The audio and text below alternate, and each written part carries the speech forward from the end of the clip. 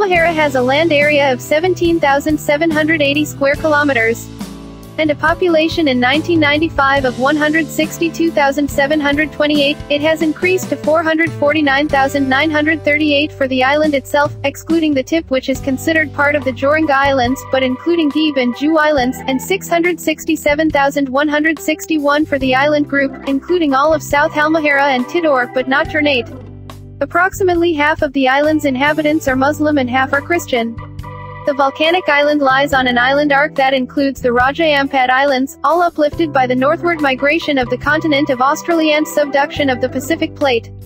Dukono is an active volcano at the north end of the island. Mount Ibu is an active volcano on the island's northwest coast.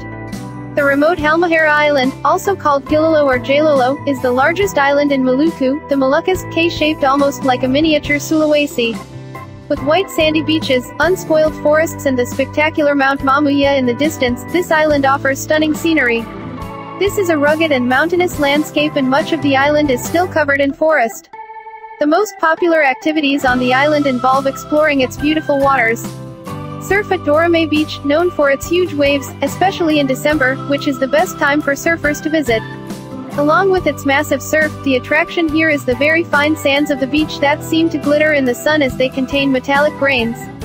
Take in the scenery at the peaceful Telaga Biru, which literally means blue lake. This is a small natural pond with crystal clear water, located near Mamuya village in Galela district.